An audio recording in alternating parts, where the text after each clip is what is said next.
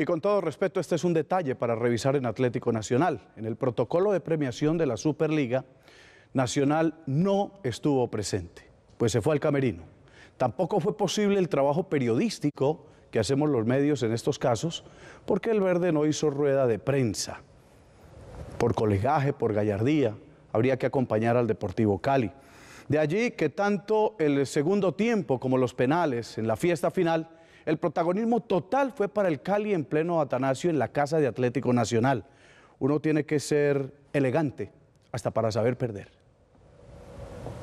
Desde los 12 pasos, a Nacional le faltó la efectividad que tuvo en finales anteriores. Corre, viene para el cobro, zapatazo, el arquero atajó. Bien, Farid. En el punto penal, la lotería no favoreció a los verdes de Antioquia. En la ruleta, Nacional falló dos cobros y acertó tres mientras que Cali anotó cuatro de los cinco que pateó. ¡Preparen! ¡Apunten! ¡Fuego! Uy, lo engañó. Después de la derrota, el equipo ingresó muy apresurado al camerino. No dio rueda de prensa y los pocos jugadores que ofrecieron declaraciones dejaron ver su tranquilidad por el trabajo realizado en la serie que definió la Superliga.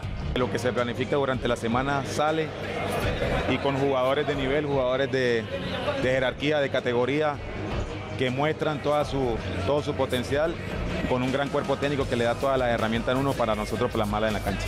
Nacional y Cali se volverán a enfrentar este domingo en el Estadio Pascual Guerrero, en esta ocasión por la segunda fecha de la Liga Postobón.